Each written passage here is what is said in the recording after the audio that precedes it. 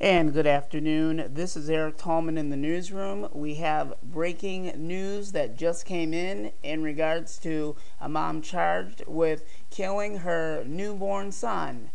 And we're going to go to Channel 7 Action News on uh, nowdetroit.com. And this is the report that we just received.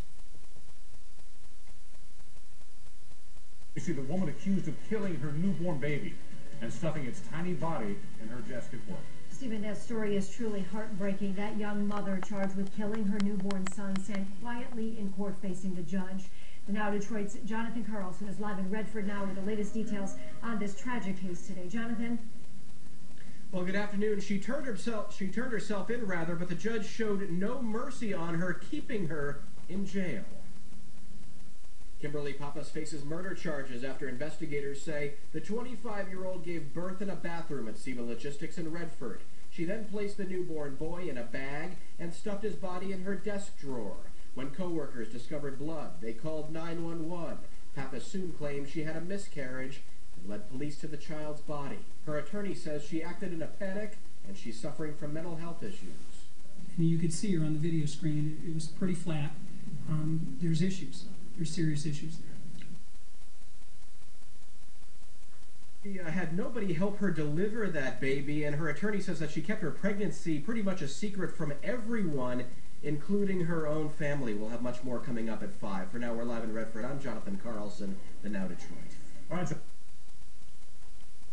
And thank you, Channel 7 Action News, for that breaking update. And this is Eric Tallman giving you that news report ASAP. Uh, we need as many responses as possible on this breaking story. I would like to hear from you, and please comment and uh, let me know uh, what you're thinking and uh, your concerns. Uh, we will have this available for you ASAP, and it will be available within minutes. Thank you very much, and have a good day. And this is Eric Tallman in the newsroom with all breaking news, weather, and much more. And like always, we're taking action for you, and we'll have much more uh, breaking news. If we receive any, we'll bring it to you a, as soon as possible. Thank you.